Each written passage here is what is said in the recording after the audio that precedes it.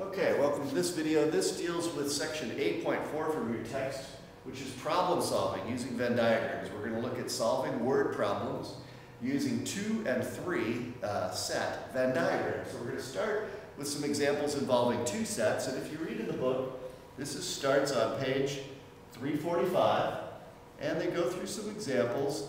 Well, actually, they go through one example. They have one example. And then they have a set of problems in 8G, all concerning one problem. So uh, I think that's not very a lot, very much material. So we're going to push ahead into the next set of problems, and I'm going to do an example there. Here's an example in the book, example nine. Very good example. Read it very carefully. It explains step by step exactly what I'm going to do in my example. So you'll have that example to go by, and I'm going to do this one, number one. Okay, let me zoom it in a bit here. We have 25 students in class. 17 study French, 12 study Malay, 10 study both languages. And as the book says at the beginning, it, it might immediately seem like a contradiction. If you add these up, 17 and 12 is 29, and 10 more makes 39, but there's only 25 students in class. How can that be? Well, the idea is that some of the ones that study French may be studying Malay as well. In fact, I know that 10 of them study both languages.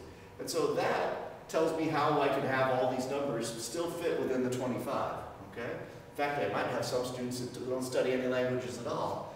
All these are the kind of questions that can be answered then by creating a Venn diagram. So I'm going to create a Venn diagram, a two-set Venn diagram for this because I have one set for French and one set for Malay, and then I'm going to come back here and see how I can answer these questions. Now, I won't be able to show this problem again because I'll have my Venn diagram up. So we're going to see these questions are going to be asked. And uh, this is the problem from 8H, number one. And it's on, let's see, page, what page is it on? It's on page 347, okay? So we're going to come back to that 347 page if you want to follow along with the examples, all right? But I'm going to go and look at a Venn diagram for this, okay? Well, I'll tell you what we'll do. Let's make this smaller. And then I can fit my Venn diagram on the same page as that problem, okay? Let's put it in right over here. Okay. Well, actually, I think it'll be easier just to get rid of it entirely. Let's look at a two-set Venn diagram here, nice and big, and then we'll have every thing that we can tell about it. Now, I've got, I made this one up in general, and you can draw them very easily on your paper, but basically what I'm going to say is one of these is going to be our French speakers, and the other will be our Malay speakers. So this will be French, French, and this will be Malay speakers, okay? The ones who speak this language. Now from the, the uh, statement of the problem that I'm given, it says that there are 10 speakers of both languages. That turns out to be the first number to put on the Venn diagram.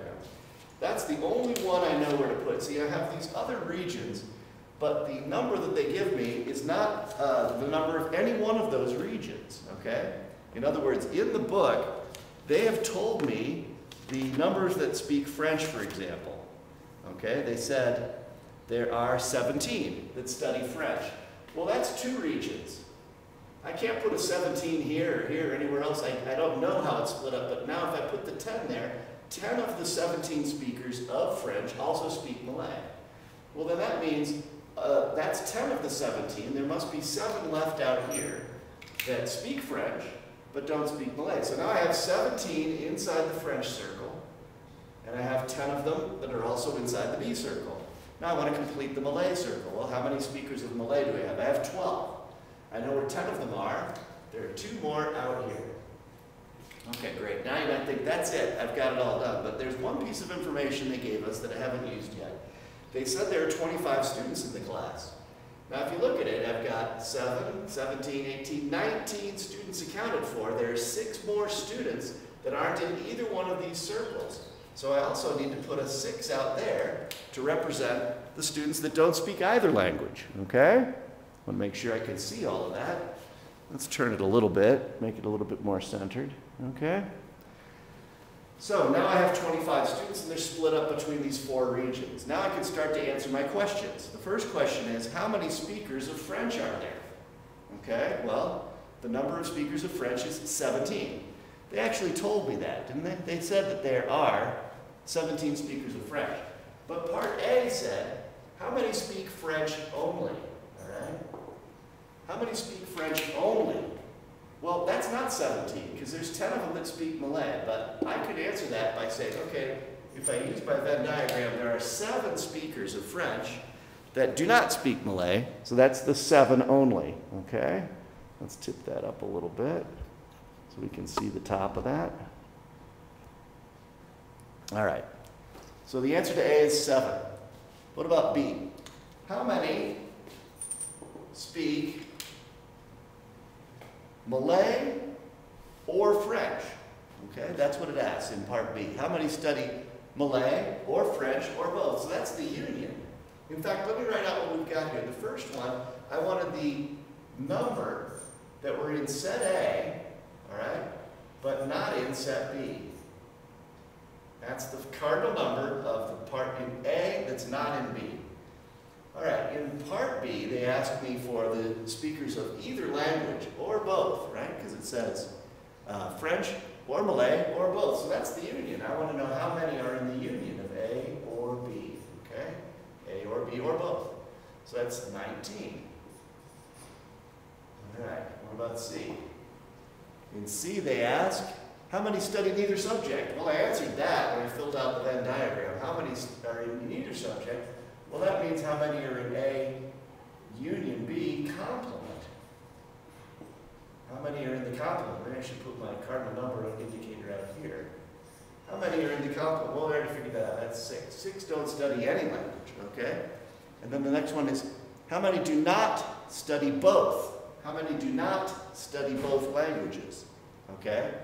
So that's a little more tricky. What I want for this is the number that are not in the intersection. How many do not? These guys study both. The rest of them don't. So in fact, I could just take the 10 away from the 25 without the Venn diagram, and I know that there's 15 speakers of either one or the other, but not both. Okay, so these are exactly the answers you'll find in the back, and that's the explanation of where they come from. Okay, that's a two-set Venn diagram. Now the three sets is a little bit more complicated. In fact, let me stop this video here, and then we'll do this three-set Venn diagram separately.